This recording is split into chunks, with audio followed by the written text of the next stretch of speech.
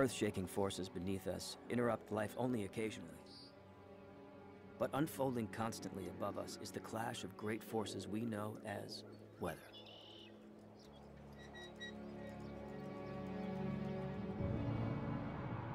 The fluid gases of the atmosphere can unleash devastating power.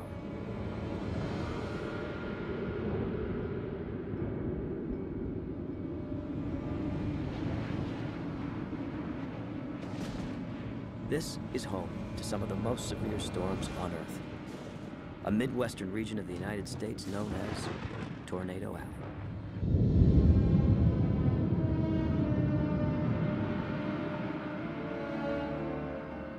Conditions are uh, pretty favorable for some explosive thunderstorm development. In fact, some that's going on right now. There's going to be a threat of severe thunderstorms, large hail.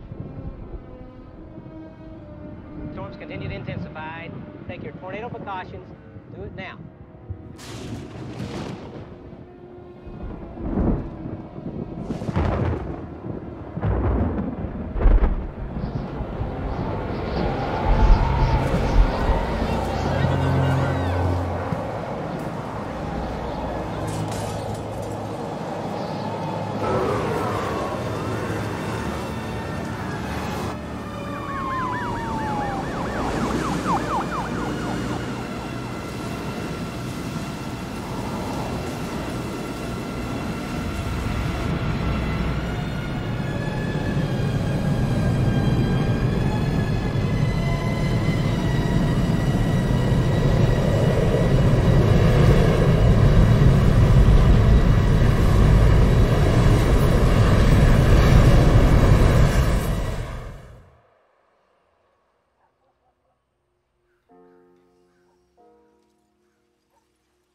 On May 3, 1999, an extraordinary series of tornadoes ripped through Oklahoma and left behind almost unimaginable destruction.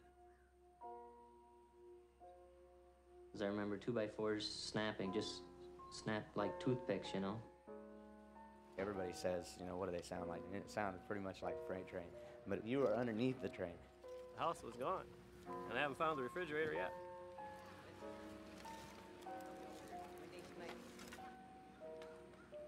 I looked out across the street, and I said, there's no houses across the street. I can see until 4th Street.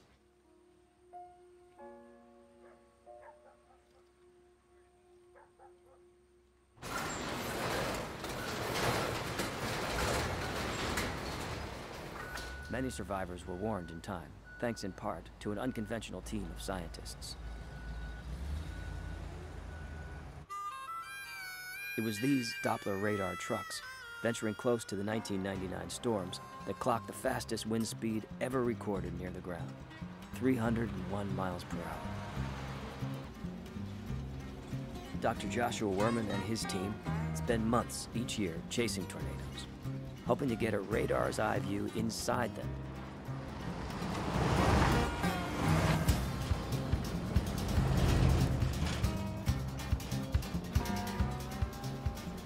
For a long time, I've dreamed of solving the biggest mystery about tornadoes how they're born.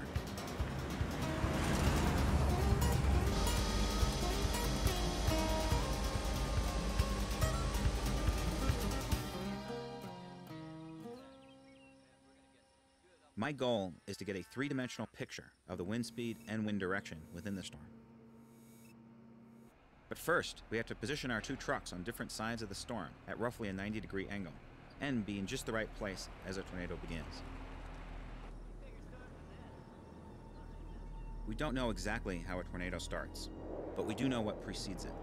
Here, warm, moist air from the Gulf of Mexico rushes upwards through cooler air, forming a thunderstorm. Some of the rising air cools and sinks, or is dragged down by rain and hail. The warm air racing in at the bottom can actually push on the higher winds aloft, sort of tilting them and forming a large spinning column. Somehow, down near the ground, between the air rushing up and the air rushing down, the spinning dramatically intensifies. The thing that fascinates me is that only some storms spawn tornadoes. If we could figure out which ones, we could warn people earlier. That's why we drive about 10,000 miles every spring.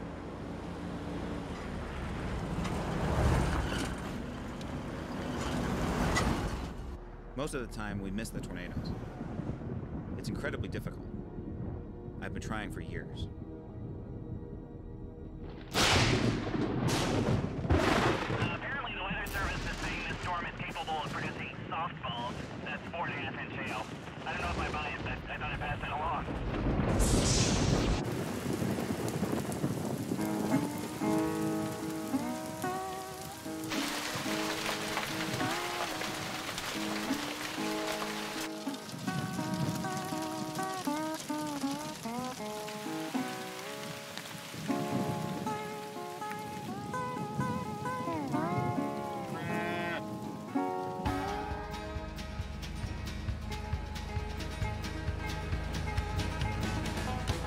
Near the end of one recent season, the team received word that a violent storm was developing, one that might spawn an outbreak of tornadoes.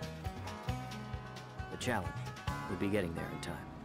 Okay, both styles look pretty good. Um, both have uh, hooks on them. The western one looks like it has a better hook on it now.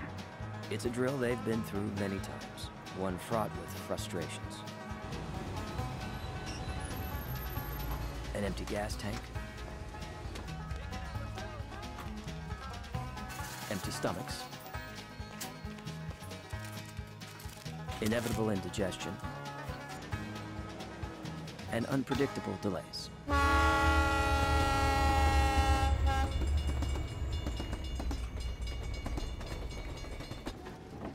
This day would prove even more eventful than usual. The uh, shoulders are a bit muddier than I had expected. Uh, I tried to rock it back and forth, but it went storm was coming right at them. All they had to do was get unstuck.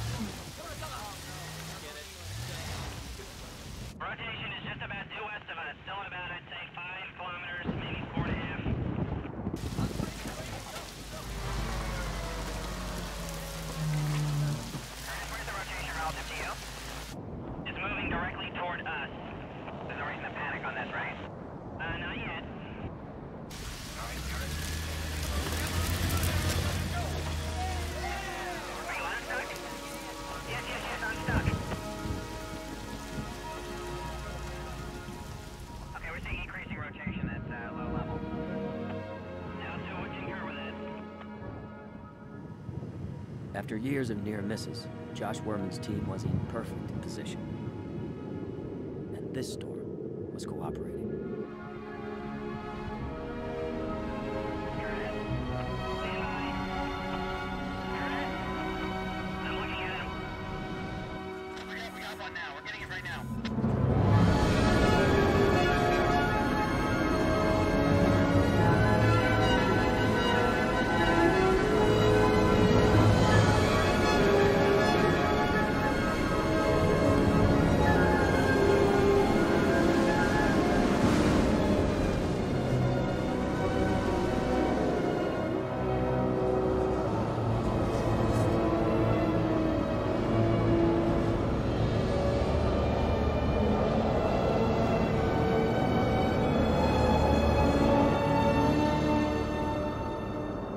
First time ever, the team succeeded in recording with two Doppler radars conditions within a storm at the moment the tornado formed. The data will take years to analyze, but it promises to help unravel the secret of how this tornado was born.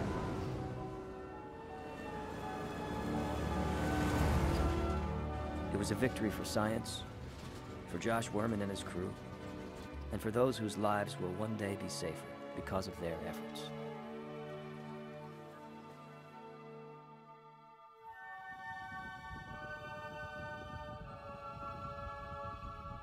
As scientists, we yearn to witness the unknown, to see things that have never been seen before. Hundreds of years ago, that would have been new rivers or new islands. For me, that unknown is the inside of a tornado.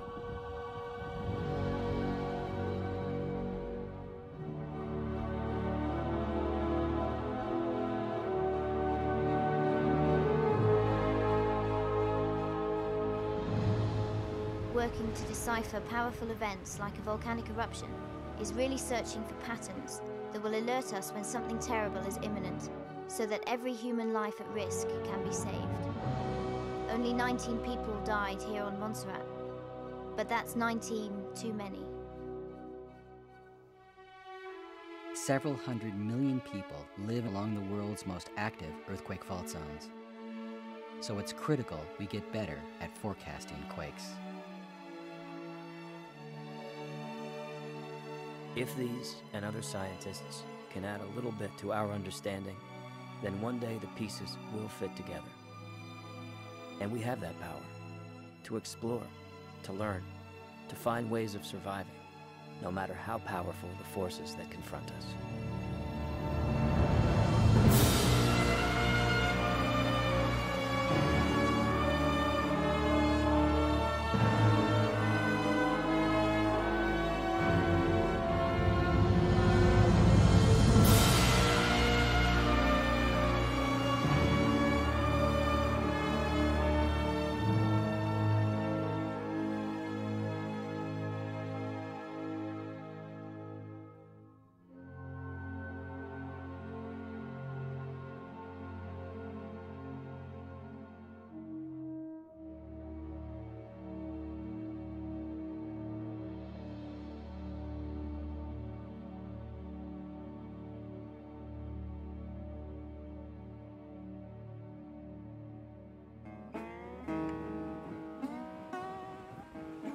Northeast now. Uh,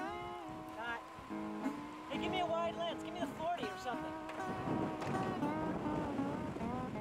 Going increasingly north, continues its present path.